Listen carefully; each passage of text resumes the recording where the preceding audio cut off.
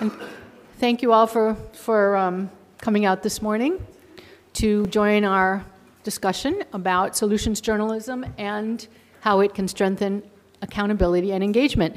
My name is Tina Rosenberg, and I am um, I write a I'm co-writer of a column in the New York Times called Fixes, which is a solutions journalism column. And with my co-writer, we founded an organization called the Solutions Journalism Network, which is dedicated to legitimizing and promoting this idea. And joining me on the panel today, we have representatives from four different countries. Um, Jim Schachter will go second, and he is the Vice President for News at WNYC, which is the largest uh, local public radio station in the United States. Then after that, we will have Lindsay Sample, who is the managing editor of Discourse Media, which is, uh, and she is a former investigative reporter for CBC. Discourse is a Vancouver based news organization that is focused on in depth storytelling and it is driven by community engagement. And she will have very interesting things to say about what that means in a few minutes. Then we will have Ulrik Haagerup, who um, recently left his job as news director of DR, which he wants me to describe as a mini BBC, um, but based in Copenhagen. Um, and now, after 10 years of doing that, he has just quit to put all his efforts into a, a new institute called the Constructive Institute, which he will talk about. And then last, we will have George Brock, who is a former uh, journalist for the Times of London, who now is a part time professor of journalism at City University London. So, um, my job is to first let you know what it is we mean by the term solutions journalism when we use that term. And I understand that we don't, we don't have a monopoly on the term, but I'm going to tell you how we define it. Um, so, the mission of the Solutions Journalism Network, which is based in the United States, although we are now spreading our tentacles towards world domination, um, coming into to Europe and Africa and parts of South America, uh, our mission is to legitimize and, and, spread the practice of solutions journalism, which we define as rigorous reporting about how people are responding to social problems and what, what the results are that they are getting. Um, we work with newsrooms. We're not a destination site, but we try and help newsrooms integrate this practice um, into their own work. And this is a map of uh, probably about a quarter of our newsrooms right now. We have about uh, 80 or 90 newsroom partners in the United States right now, and we are, um, as I said, um, working overseas. Um, we also have, and this is a very interesting tool that you might find, um, a story tracker, which has a searchable database of solution stories, some of which we had something to do with, some of which we did not. And we have a couple of thousand stories in it. We are uh, slowly tagging them to make them visible, but we have I think this is uh, uh, 1,872 stories right now.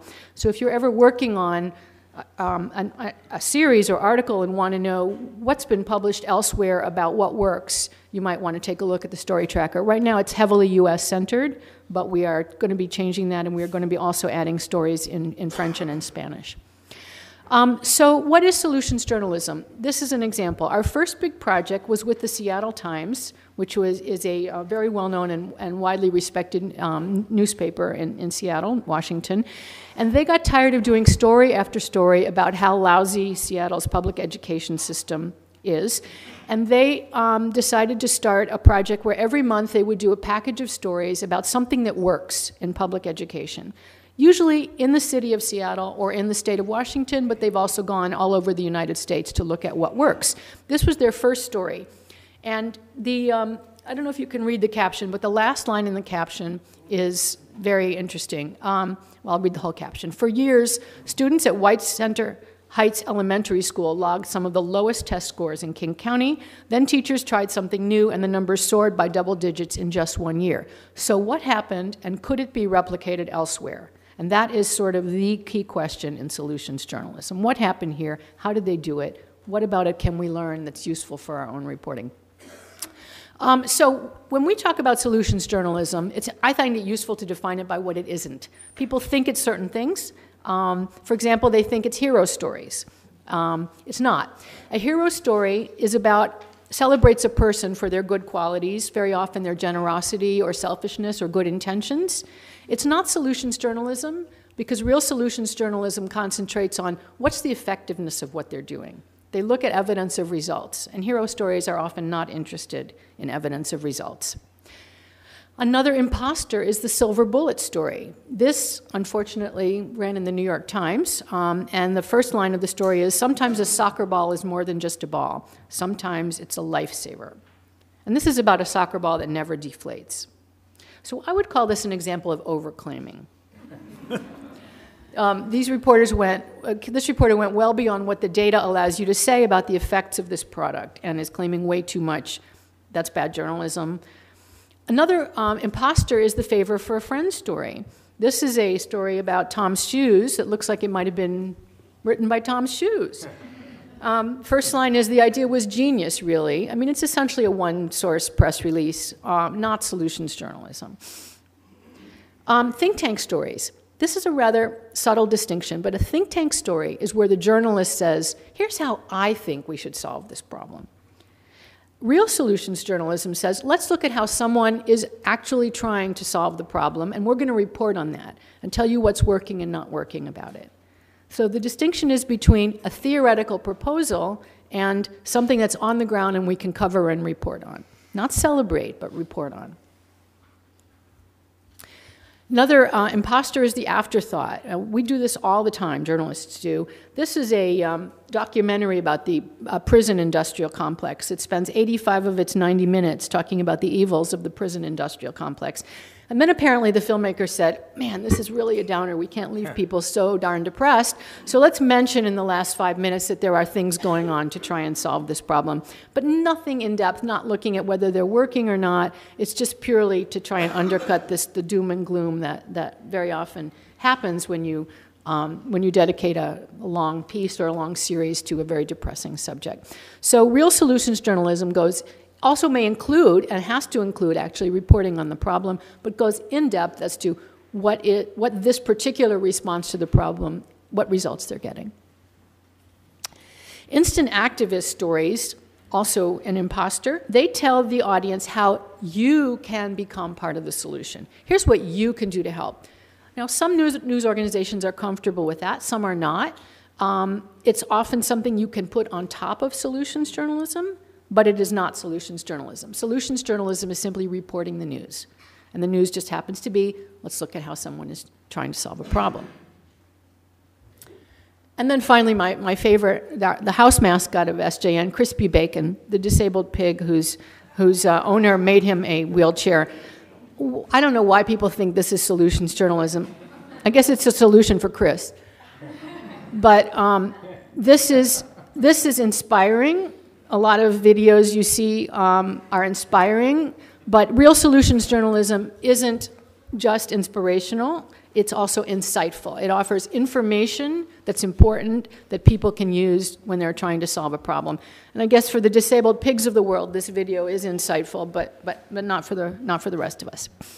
Um, so real solutions journalism has these four qualities. It is always going to have people in it, but the real hero of the story is the work. What is the response to the problem um, and how did it happen?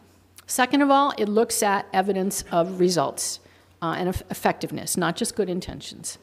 Third of all, it's insightful and not just inspirational. And fourth, it talks about what's not working about the response because as we know there is no such thing as a perfect solution so it avoids reading like a puff piece by discussing the limitations of what we're reporting on it doesn't celebrate it reports um, so, how can solutions journalism be used to further accountability? I'd like to tell briefly the story of how I got into solutions journalism because I think this illustrates um, this point very well. About, well, it was 17 years ago now, in the, in the year 2000, I was working for the Sunday magazine of the New York Times, and I pitched my editor on a story, an investigative piece I wanted to do about the price of AIDS medicines in poor countries. And the fact that in countries where the AIDS burden was the highest, the um, price of AIDS drugs was also the highest, which basically ensured that nobody could get them. That was widely known at the time. What was not widely known was why this was going on. And the reason was collusion between the pharmaceutical industry and the Clinton administration, which was at the behest of Big Pharma, putting pressure on poor countries not to make or buy generic drugs. So I thought this was a pretty important investigative story, and I pitched it to my editor, And my editor said, can't do it. It's too damn depressing. Can't run another 7,000 word story on how everybody's going to die in Malawi, which all our readers know. So um, I was disappointed, but I rethought the story, and then I came up with a reframing. There was one country that was not succumbing to this pressure. It was actually telling Big Pharma and the Clinton administration to go to hell. It was making its own generics and providing them for free to all its people, and that was Brazil. So then the story became how was Brazil able to do this? And what was the pressure they were fending off? And in the course of telling that story, I managed to say everything I wanted to say about the bad behavior that was going on. It just turned it inside out. So this became a much more successful way of doing the story, um, among other reasons because it got into the paper, which is sort of job one. Um, I didn't write the headline, by the way. I think that's probably overclaiming. But it was, it was much fresher. Was, we got a huge response from readers. It wasn't depressing. It felt empowering to people to know that, in fact, there is a way out of this problem, and Brazil was doing it. And in fact, now this is what's going on all over the world. So this convinced me that here was a really great method of doing, um, doing a depressing story. And since basically all I did was depressing stories, um, I now use this all the time. But I felt that this also increased the accountability factor much more because it showed that you can do this. It took away the excuses of people who were not doing it, and that is the accountability factor in solutions journalism. Um, one of our partners who uses this a lot is the Cleveland Plain Dealer, and they did a series um, on lead paint in Cleveland. They had done a few, but this one was different because it looked at what other cities were doing that was successful. So they really came out and said this here's what other cities do that Cleveland isn't doing. And that put a lot of pressure on Cleveland officials to clean up their act. So when you use this, when you use this approach, it takes a problem from inevitable, inevitable, we can't do anything about lead, it's just a problem that's out there, nobody can solve it, to unacceptable, because Rochester's solving it, other cities are solving it. So they actually ran this chart in the paper. Here's what other, here's what successful cities do, and here's what Cleveland does. And that had a lot of impact. Um, engagement is the other question we're looking at here, and um, we're going to be talking about that more. But one of the um, one of the sort of most important studies of news came in 2008 when the Associated Press studied young adults and how they consume news. And this this drawing was actually in the original report, and the the results actually bear out this poor guy who has his head in his hands, but. They found that news fatigue brought many of the participants to a learned helplessness response, that the relentless negativity of news led to the desire to turn out, to tune out. In essence, we're selling a product that is painful to consume for most of our, of our audience. Um, but when people thought something that could be done about a problem, even if it was small, they tuned back in. And there is a lot of evidence about this. Um, BBC, when we have Mary Hockaday here, who is the, um, what's your title, Mary, again? Right, Controller World, BBC World Service English, and they did a study of their digital audience, young people. 64% of their under 35s wanted more solutions journalism, and that was their top content request. Um, the New York Times did a survey of its mobile users. Anybody know what their top content request was? It was more weather, actually. But, so, but solutions journalism was second place. Um, so this is something that young people do engage with and want. Um, we, um, with the University of Texas's uh, Engaging News Project, we did a survey with them. We helped them by supplying two versions of the same article, and they found these differences in how people engage with solutions journalism. And I think the second one is interesting. I would read more articles from the same newspaper. So there's a spillover effect if you're once you read the solution story. It does get you back in, which I know is not it's one definition of engagement. It's not the one that a lot of people here are going to talk about. So um, once again, this, this is how to find us. We're the Solutions Journalism um, Network, and now I'm going to turn it over to Jim, if you want to come over here and show your slides.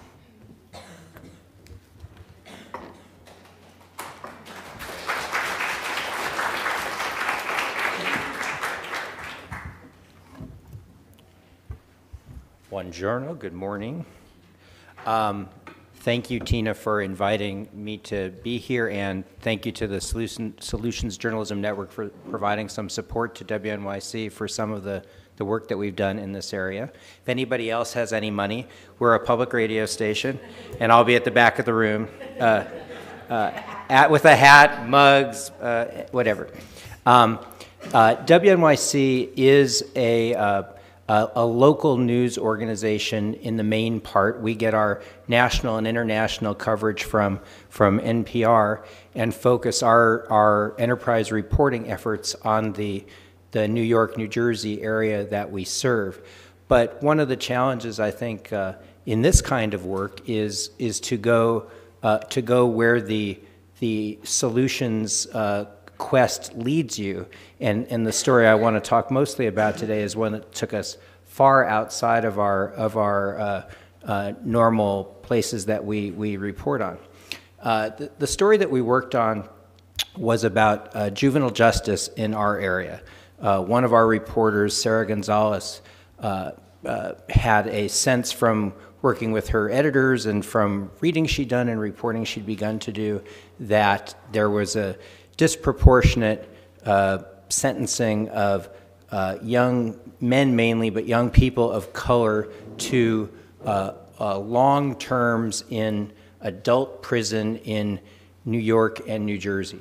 So uh, she tackled this the way that you would typically tackle a story. She went digging through the data. She talked to experts. She tried to get a, a, a, a scope around the nature of the, of the problem.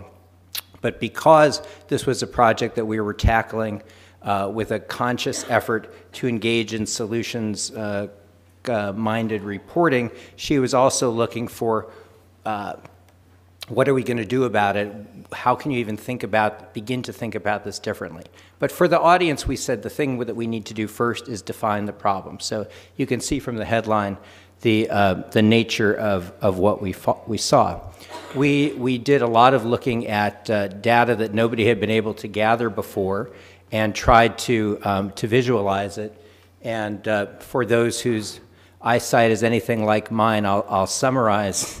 Uh, what we basically found is that in, in um, uh, virtually every county in uh, New Jersey, in particular, that had a, a, population of any size of people of color, um, uh, it, it, was almost exclusively uh, uh, black and Hispanic uh, uh, teenagers who were getting adult sentences, even where, uh, as is the case in most places in the state, the vast majority of the population is, is white. Um, the, the, the chart on the right says almost 90% of minors prosecuted as adults in New Jersey are black or Hispanic and the, uh, the, uh, the population of black and Hispanic people in, in the state is, uh, I think, together something under 20%. So you could see the disproportion, perhaps uh, what you'd expect, but the, the notion that this is one of the few places in the country where, uh, even up to the point that this reporting was done uh, last year, you could, as a teenager, be sentenced to 30, 40, 50, 60 years in prison as a 14 or 15 or 16 year old for, not for murder, but for armed robbery, uh, I think was startling to people who, who, for whom they didn't know anybody that had happened to. So we established the problem, and, and, and this is, I think, the twist. This is, as Tina was saying, this is the thing that turns your thinking about a story inside out. Uh, this is just the way things are where we live. If you're a legislator, if you are a person working in the corrections system, if you're a per person working in the justice system, the frame of how things work in New York and New Jersey is what I just showed you. Um, uh, Sarah Gonzalez had, had uh, an obligation in this assignment to go searching for uh, another way of thinking about it. And as she did her reporting, she determined that there was nowhere in the United States that could really represent an entirely different approach. Certainly nowhere uh, our travel budget generally involves buses and, and subways. Uh, uh, certainly nowhere that we would normally go to to report on a story. And her reporting discovered that um, uh, a place that had a very different approach was Germany. So, with, with uh, Tina's organization's support, she got on a plane and went to Germany. And I wanted to play you just a little bit of sound of what it was that she uh, found. If I could figure out how to do this. Uh, let's go back. Push the space bar. All right. This is, this is Sarah Gonzalez. Nope. The mouse. Ah, very good. Thank you, team.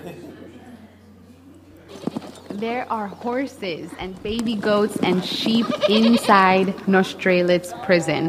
There's a vineyard inside the prison where juvenile inmates make their own wine to give as gifts to their visitors. I got a bottle. And there are coffee pots all over the prison. Inmates hang out by the coffee with their glass mugs and little metal teaspoons like it's a water cooler. And the prison guards in Germany, they don't get shank proof vests or batons or pepper spray. There are also female inmates in here. And Marie Christine Lim, who runs the prison, says they're all dating the male inmates. If they want to hold hands, they can hold hands. If they want to hug, they can hug. Basically, they don't have sex, I hope. you hope? There, there should be no time to do that. Okay, but um, they, they kiss? They kiss, yeah.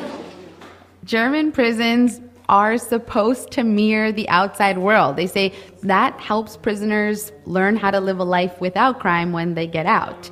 One of the inmates, though, Milan, he doesn't have a girlfriend in here. No, no, I haven't. nah, they are not, um, was kann man sagen, nicht mein Geschmack. when I interview Milan, we're in his room. Sorry, what is this? What? This door. That's the toilet. Oh, you have a door to your toilet? Of course. Of course. I, I think of course. So, um, what I should have brought a clip of is how the story began, which was uh, the story of a uh, of a mom whose son at age 14 was sentenced to um, uh, 40 years in prison for for an armed robbery, and who who goes uh, once a week to see her son and has been doing it now for, as I recall, something like 20 years, while his life wastes away in prison. So if you remember Tina's chart from her presentation, uh, uh, you could you could hear the the uh, the giddiness in uh, in Sarah's voice at discovering uh, this alternative. Uh, I would say that that this this project did not exactly go on to examine the, the limitations and the, the obvious political obstacles in the United States and New Jersey, where Sarah was reporting from, for for uh, making this kind of change happen. Uh, so I think that we probably fell a bit short of what all we could have done, but we um, decided to stick with the subject. And we have a team of seven or eight journalists who are working on a, on a big project about juvenile justice that builds on some of what we learned here that um, will, among other things, visit a just opened uh, juvenile correction facility in Connecticut, one state away. We can afford this ticket on our own.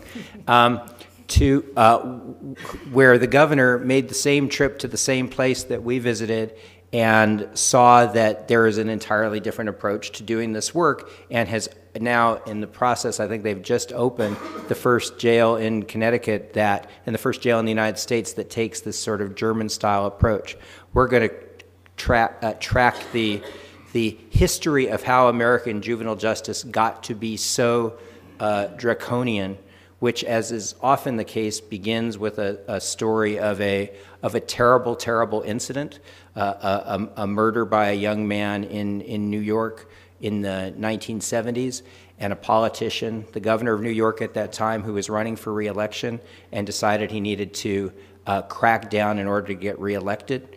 And that set the country on a 35 year path toward the kind of picture that, that, that we found. Um, the, uh, I'll mention a couple of other things briefly. The, uh, this, this work, I think, helped inspire us to, to go on to think about other things in a similar vein.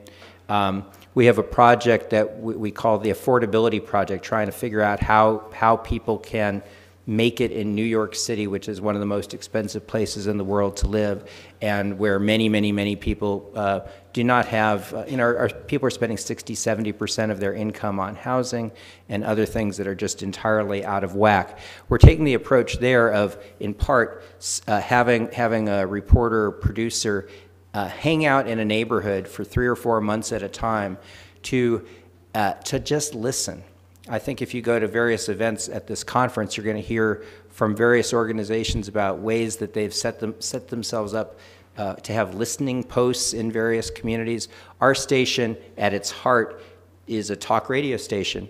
We, uh, it, is, it is natural for us to put a question out and find out what's going on, but we don't always, if you just take the calls from your callers, you get the people who are already listening. So we're sitting ourselves down in neighborhoods from the Bronx to Staten Island to Queens uh, to Brooklyn to to just be there and let people tell us what their issues are.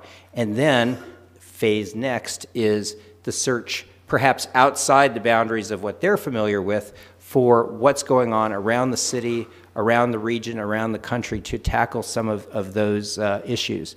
Uh, and, and I think that we've gotten ourselves reoriented by, by having our, our eyes opened up. Last thing I'll say is that in saying all that, it really shouldn't be such a huge discovery. One of my first jobs was at the, uh, the Kansas City Star newspaper a long time ago. And uh, I remember being sent out, uh, that there were about 25 of us assigned to a project in 1985 to figure out how Kansas City could reestablish its local uh, regional economy and get things going again. And we were sent to 25 different cities to find like one great idea. Now, I missed, I was away for the day that the assignments weren't given out. So I went to Omaha, Nebraska. But uh, discovered that they had, I, I, think Warren Buffett paid for it, um, that they had, had entirely rebuilt the geography of their downtown and that was the solution that, that I brought back. So this is a pretty time-honored concept. It may be have, have a new name, but I don't think we should be scared that this is something that's so strange or foreign or uh, unseemly for journalists to do. Uh, it really does make the kind of connections that, that, uh, uh that we are needing to make with our communities. Thank you.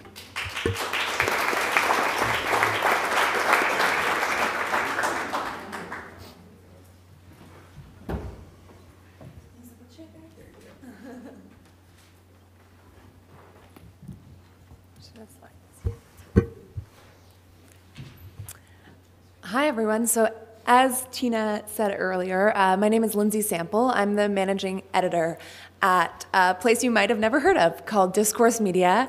Uh, we are a journalism company based in Vancouver, um, and we're a startup. So, the first thing that I'm going to say there's contact info if you need it is what is Discourse Media today?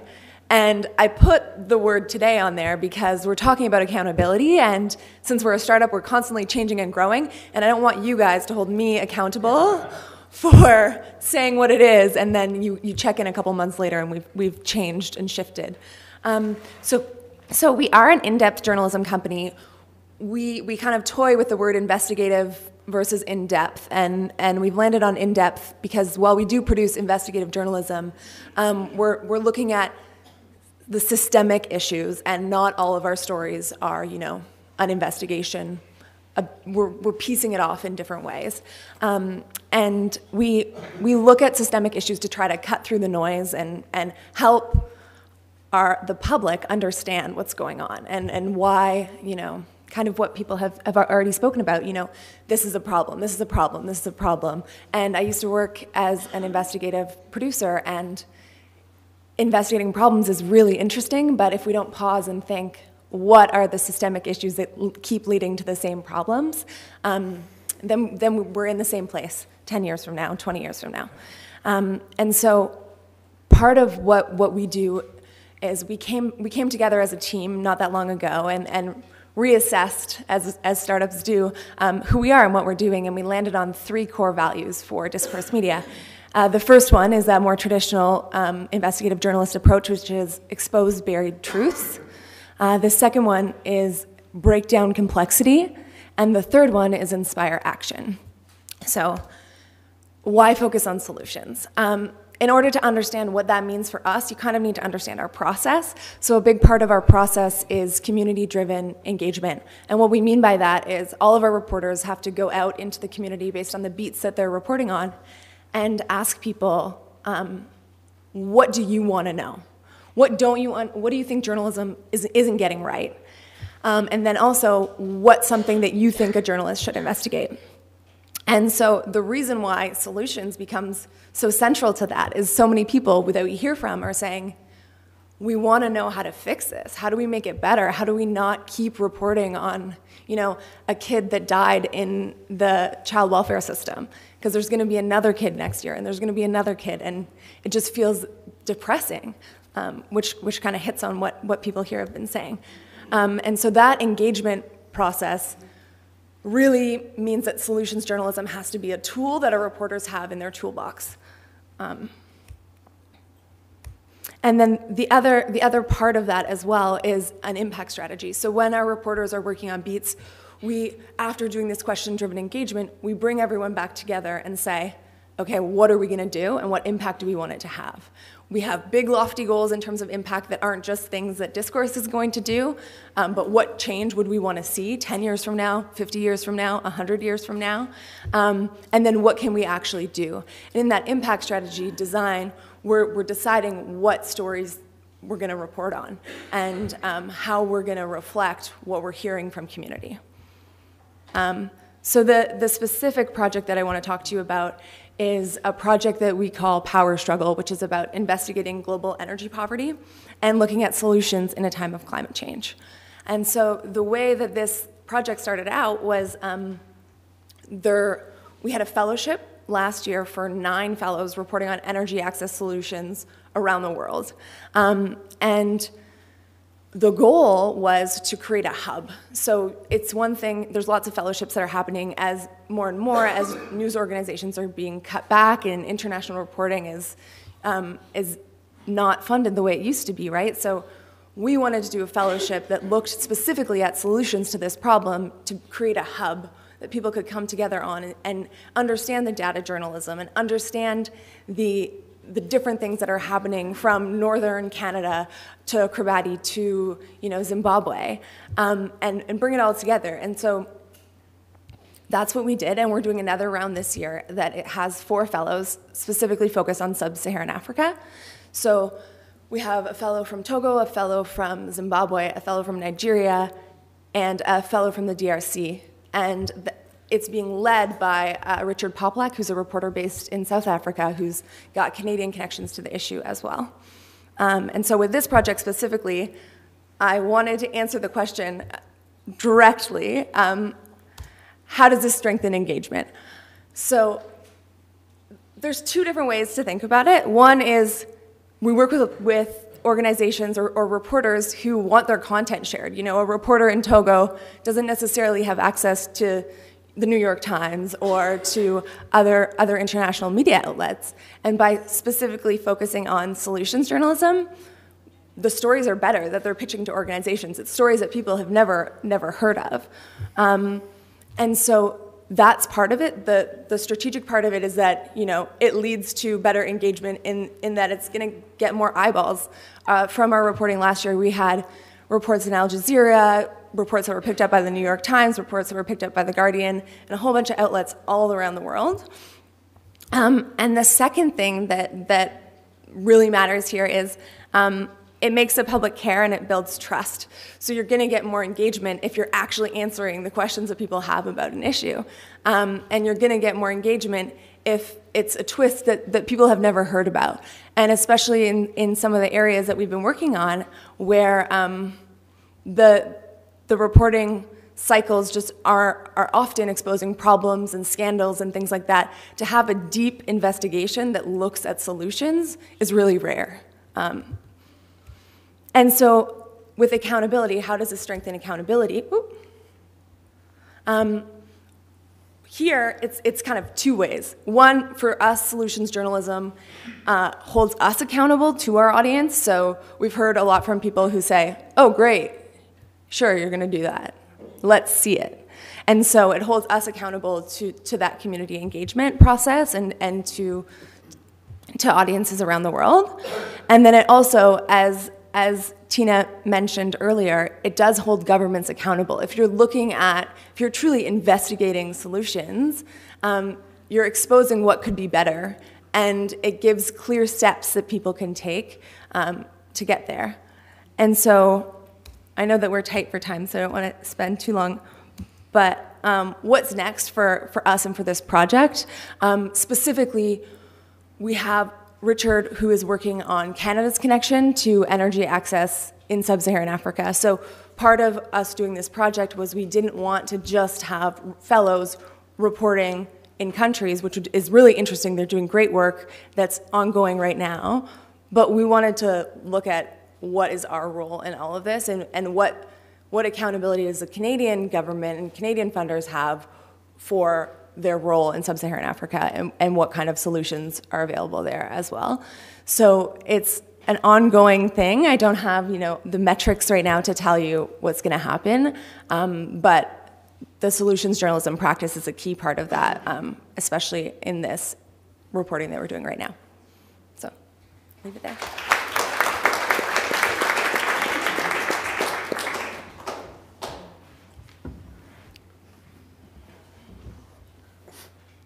Hi, I'm Ulrik Haagerup. I'm a journalist. I, want, I, I, wanted to become a journalist since I was, I think, 12, 13.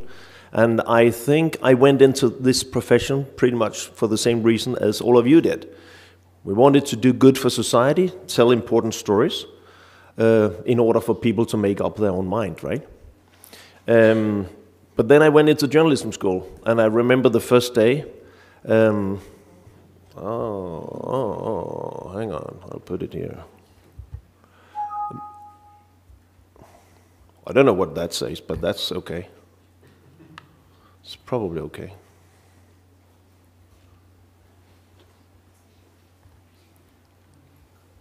It's Italian, but uh, okay, it works. okay, um, I went into journalism school, and the first day my teacher told us a good story is a bad story. If nobody gets mad, it's advertising. And I became part of this culture of news. Uh, also, when I get my first job as in, in, in, in newsrooms. And uh, people kept telling me that we should focus on conflicts, angle stories on drama, on crooks, and on victims. And we did that. And at some point, I looked myself into the mirror and asked myself, was I really doing good for society, or was I doing good for my career? Or was I doing good for my peers? So I did stories that my, my fellow journalists in the newsroom, they liked, uh, that could win me prizes, that my editors liked, which was very good to put a headline on. And with that kind of journalism, which was not, I was not, I was not telling lies, but was I, my aim to do good was my aim to make people understand the world better or just to do what I thought was journalism because that was culture. So when I realized that was not the case, I, that, that I, then I needed to, to change something. That, that's the, the project I've been on for 10 years. I've been uh, executive director of news at DR, which is the equivalent of the BBC. We are, one, we're 10% of the BBC with 100% of its problems. um, and that's why, and and the answer to these questions of what is journalism and what should I do as a reporter, also an editor, a part of this fantastic and troubled profession, profession uh, the answer to that was I need to quit my job. I need to involve myself in uh, trying to change uh, news culture in Denmark and abroad, if I can do that, joining other good people, uh, uh, having the same frustrations I, that I have, and uh, 1st of September, we will launch what we call Constructive Institute. Uh, it'll be uh, an institute based on Aarhus University, which is the second biggest university in, in uh, Denmark, a very good university. And we'll do basically three things. We'll do projects, science projects, uh, finding out what, what is the impact of journalism to the public debate and democracy. If we do something different, would that work? Uh, try to come up with new formats for a new way of discussing big problems in society. Um, educational material. Uh, we'll try to spread the word doing keynotes, master classes around the world and in Denmark, and we'll have a joint uh, fellowship program uh, where we bring six Danish and six international fellows for uh, one academic year to Aarhus in order to understand the big challenges on the beat they're covering, um, and, and also looking for possible solutions uh, to them. And meanwhile, we give them an, ed an education in constructive storytelling. That's the idea. Um, and we already have funding for six, and we hope next year we'll have 12 all in all. The problem is, and Thomas Patterson, who's a professor of Harvard, has put it like this for our industries, the real bias of the press is not that it's liberal, its bias is a decided preference for the negative. And I think he's right. Um, and the reason why I decided I really have to do something about this was during the American presidential election. And I was wondering, how can these people vote for this guy?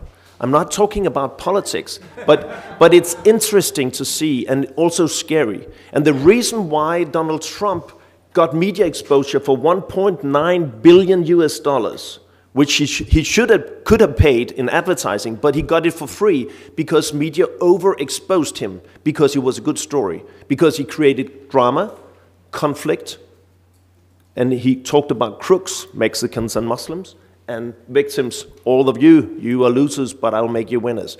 That was the reason why.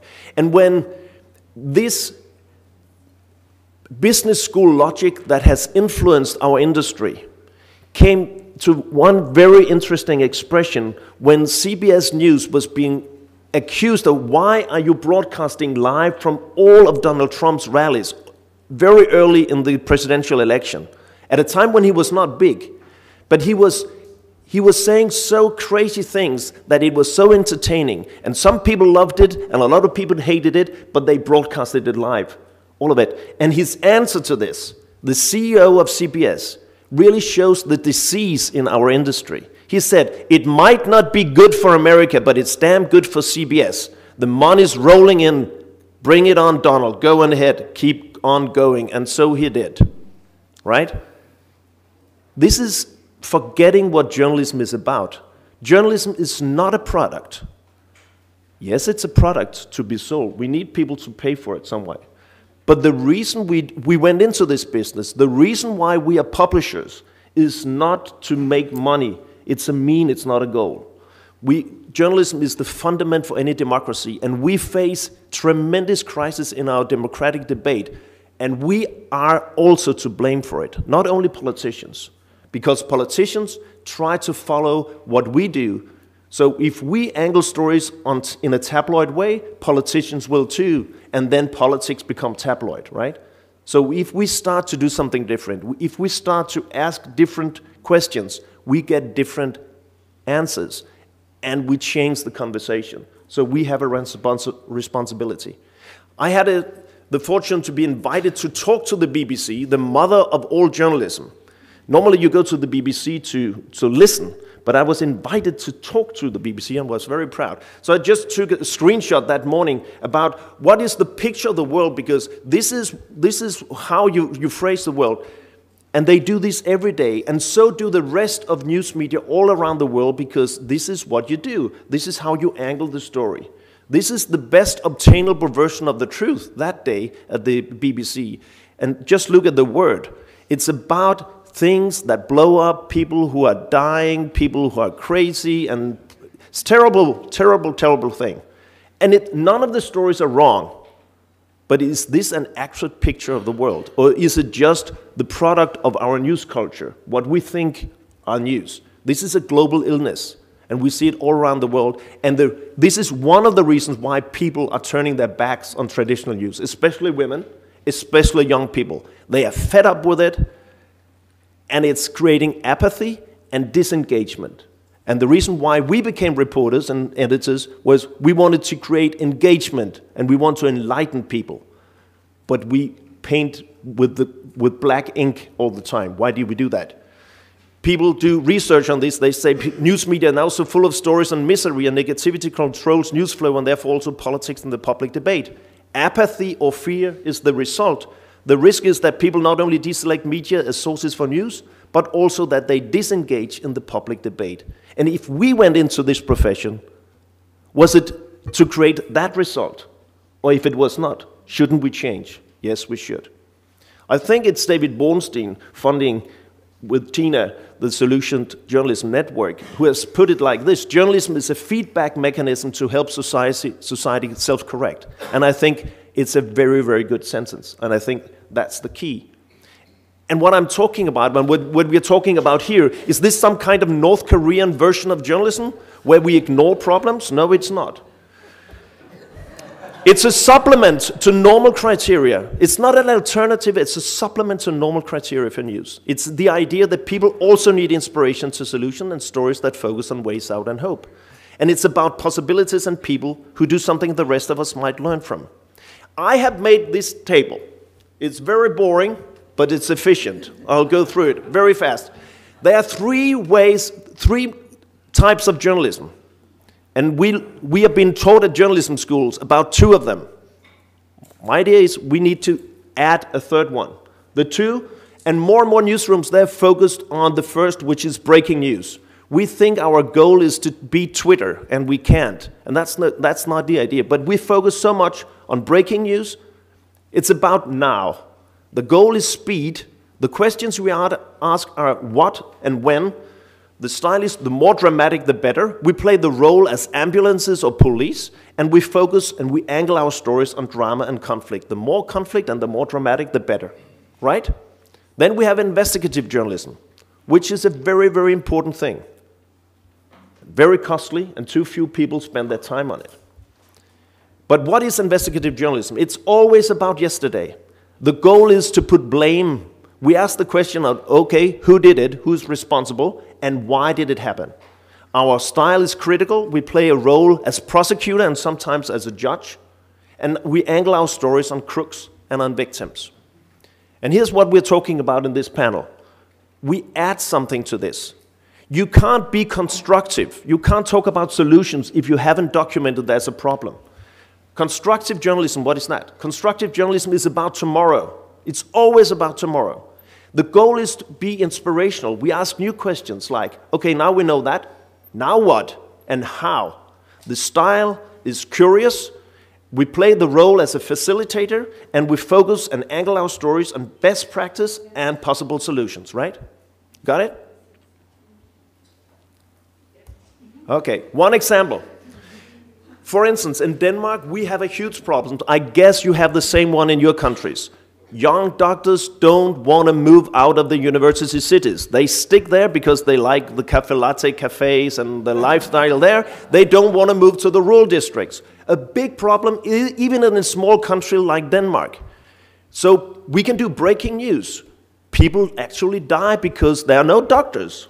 So we do that. And we do investigative stories. How does this happen? Why did this happen? And we invite the Minister of Health into the studio and he will say, It's not my fault, it's the regions. Okay, we to the people of the region. Say, It's not our fault, it's the union. Oh, so if we are very good, the goal of our journalism can be they will put in commission, they will do a report, they will, it will come out in five years and nobody will read it, and, but we'll win a prize for it. We documented there's a problem. But what do people need in the rural districts? As you say, they want, how can it be fixed? So, what is the constructive angle? When we have done the breaking news, when we have done the investigative angle, that's the constructive angle. And we sit and we watch a European map and we say, has anyone experienced something like this?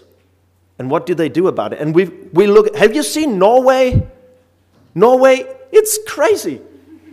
They educate their doctors in Oslo. It's 1,747 kilometers to Tromsø up there. How do they get doctors to move up there? And we called them, and they told us this, is, this has been a big problem. nobody dared to move to northern Norway because there were no doctors because they didn't want to live there. So it was, it was life threatening. So what happened was we needed to do something. So we asked, What did you do? They said, Come up and see. So we went up there and did a story, a constructive story about something which is uh, inspirational to our debate in Denmark. They had the problem, they did something. Can we learn from that? And I will just play a very short clip. It's in the world language Danish. I have translated it for you, so.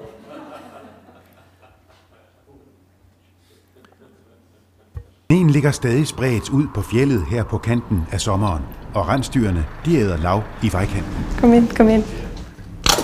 Vi er på det lille sygehus i byen Hammerfest ved Barentshavet, verdens nordligste by, som de kalder den.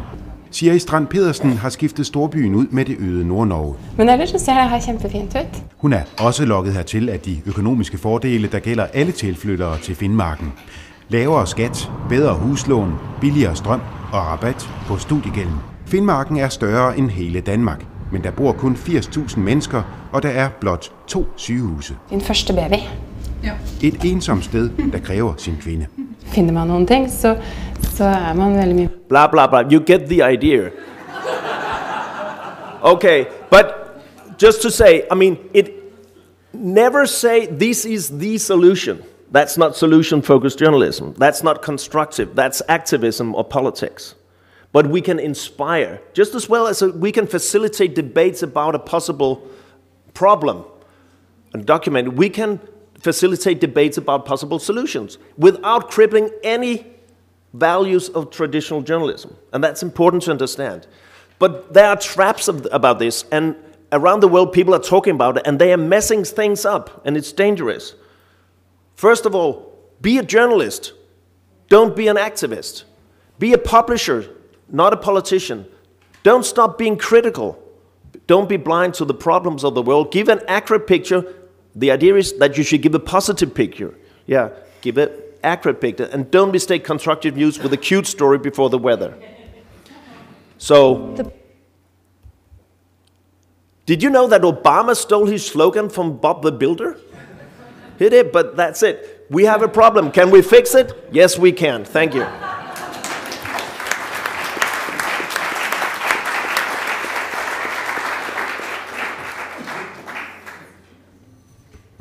I don't need to move. I'm just relying on the, on the spoken word. And I'm going to rely on the spoken word, if you'll forgive me, pronounced at warp speed because we're going to run out of time very quickly. Uh, I'm going to issue one or two very small cautions about this, following the tone of Ulrik's last slide, but one saying don't fall into the traps. I don't think there is any question that solutions journalism, as we've heard it described, addresses a need. I would direct your attention, if you want to look at this, to something Tina mentioned very, very briefly in her introduction, which is the uh, BBC's solution focused journalism. Note the small difference in the language there uh, on Facebook, which appears to be doing really, really well, so that what particularly young consumers of the BBC's online output do is the same as what they say they want. Um, and I think it's quite true that journalists get locked into patterns of negativity and it produces a crisis fatigue among uh, users. And I would say that a lot of solutions journalism is what we would certainly define in British journalism as features, not hard news. And that plays into a general trend in written journalism of what I would call magazinification. If you read the New York Times in print in Europe, I imagine proportion of this audience will read it in the American version, but if you read it in the European version, it is a, it is a fascinating phenomenon. It is almost completely now a daily magazine. They have stripped out of the European printed edition almost every piece of hard news, virtually.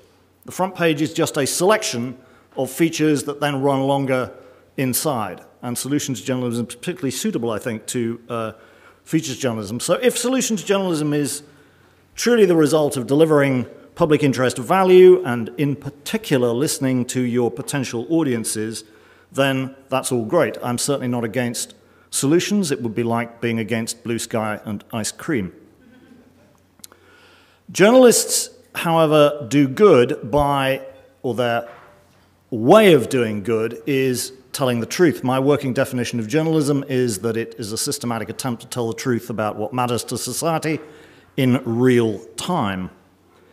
I think it is important, I think words are really important, and I like the BBC formulation, which I drew attention to a moment ago, because it's solution focused journalism. It's a slightly clumsier phrase than solutions journalism, but what it does is remove it from any suggestion of activism, which I think is a good piece of, good piece of wording.